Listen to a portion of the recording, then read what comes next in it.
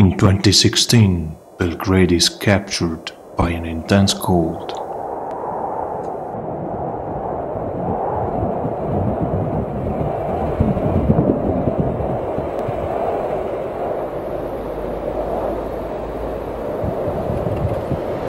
The streets around the railway station are full of people in the fancy of city life.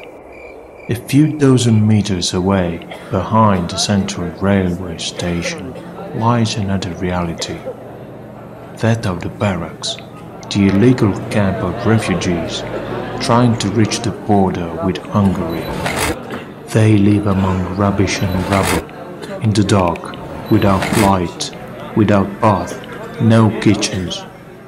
The living condition are at the limit of the human. Some of them show signs of wounds during attempts to cross the border with Hungary. The temperature below zero forced them to make fires to warm up. Fire is fueled by anything plastic, rubber, waste, causing damage to breathing and health in general.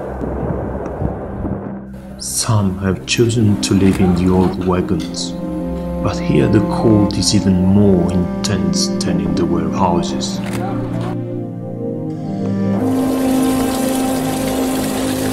People wash themselves outdoors with temperature below zero, with water heated with beans or bottles placed near the fire.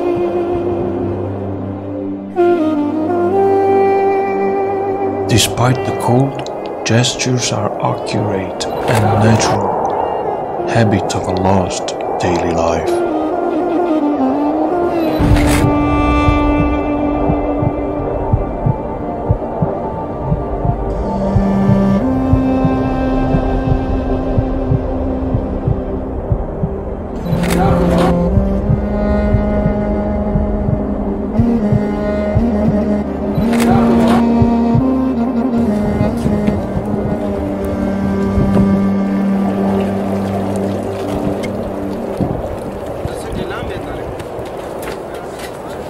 Some volunteers provide hot meals daily.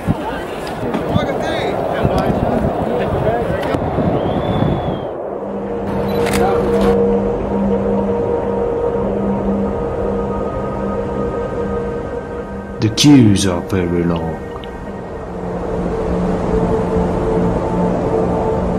Some don't look up from the ground, wrapped in blankets. They are just over a thousand, most of them of Afghani and Pakistani men and boys.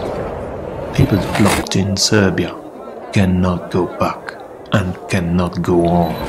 Equally long are the queues to get the clothes and the shoes, always too wide or too narrow.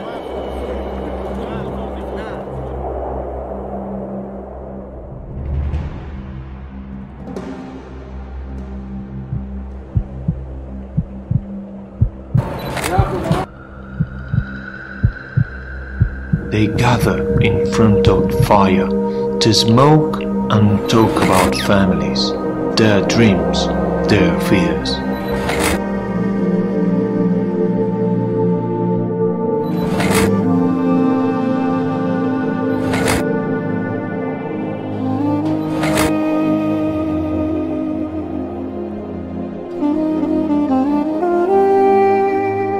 Volunteers also try to offer, above all, dignity, comfort, socialization with their presence, with a word, or moments of aggregation.